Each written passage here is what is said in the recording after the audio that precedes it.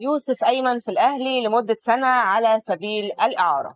ده اللي أكدته تقارير قطرية صحفية آه، حول يوسف أيمن مدافع فريق الدحيل القطري واللي أكدت أنه خلاص بقى آه، ضمن صفوف النادي الأهلي. آه، طبعا لسه ما أعلنش بشكل رسمي من قبل إعلام النادي الأهلي ولكن تقارير القطرية أكدت أنه صاحب ال 25 عام خلاص بقى أهلاوي. يوسف أيمن خاض مع فريق الدحيل 24 مباراة في كل المسابقات في الموسم المنتهي 2023 و 2024 وأحرز هدفين وهو يمكن مدافع هداف.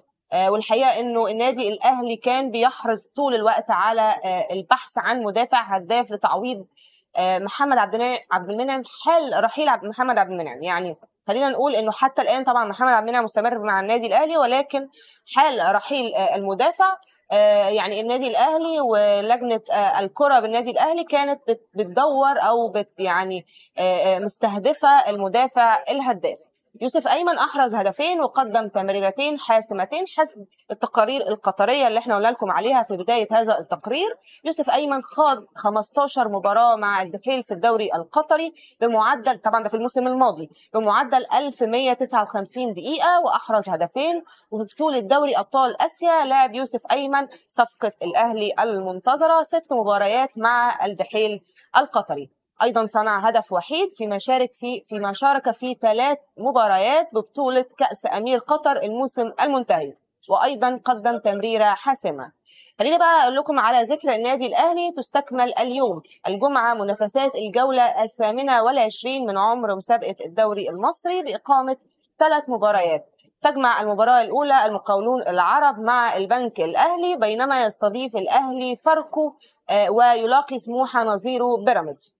خلينا أفكركم إنه المربع الذهبي بي... للدوري المصري بيتكون من بيراميدز المتصدر صاحب ال 62 نقطة بعد ما خاض 25 مباراة أما النادي الأهلي فهو في المرتبة الثانية برصيد 45 نقطة من خوض 19 مباراة ولا زال لديه عدة مباريات مؤجلة. المصري في المركز الثالث برصيد 45 نقطة من 27 مباراة وزاد إف سي 41 نقطة من أصل 26 مباراة خاضها. طبعا زاد إف سي الحقيقة أنه يمكن من آه، المفاجآت في هذا الموسم نظرا لأنه الصاعد حديثا لبطولة الدوري. أما بقى صراع بيراميدز مع الأهلي والزمالك فبيراميدز يطير بصدارة الدوري بعيدا عن المنافسين وسط طموحات بتحقيق لقب الدوري لأول مرة في تاريخه. زي ما قلنا لكم بيراميدز آه، يعني لديه في جعبته 62 نقطة من 25 مباراة. وبفكركم تاني إن الأهلي في المركز الثاني والزمالك آه، آه، لديه 34 نقطة من 21 مباراة في المركز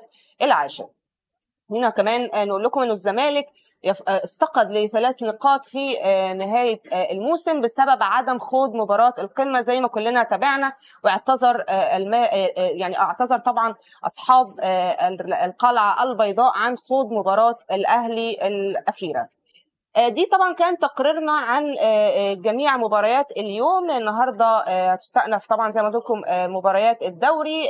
كل محبي كرة القدم في مصر هيتابعوا النهارده عودة المباريات مرة أخرى. ولا زلنا حتى الآن لا نعلم خوض نادي الزمالك مباراة غدا أمام سيراميكا كليوباترا من عدمها. حتى الآن لسه مجلس إدارة نادي الزمالك ما أقرش بشكل رسمي أو ما أعلنش بشكل رسمي موقفه النهائي من خوض المباراة. وإن كان الأقرب هو خوض المباراة حسب طبعا آه، العديد من المصادر من داخل القلعة البيضاء.